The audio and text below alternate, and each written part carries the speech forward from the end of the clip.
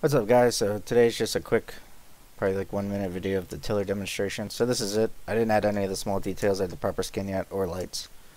But it's just to demonstrate how it works. So when you're in by yourself it just works like a normal tractor trailer. Um, I may add support to move the back wheels with its own keybind prior to release. We'll see.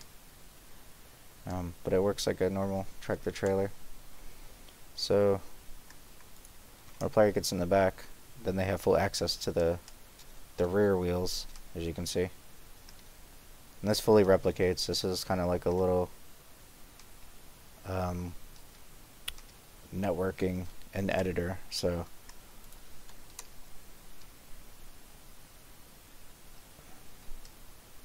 so if you're going, the player can move it left and right make really tight turns and stuff just like a normal tiller. Um, I'm really happy for this. It works really well. Bacon did a really good job with it. We're going to refine it and bug fix it um, before it releases.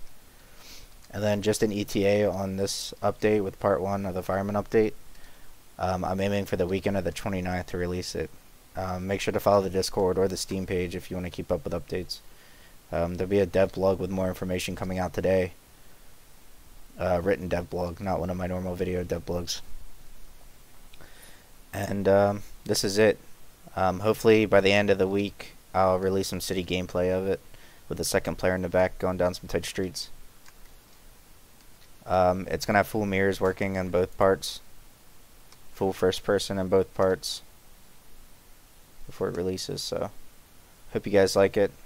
Um, Bacon worked really hard on it. So anyway, thank you for watching.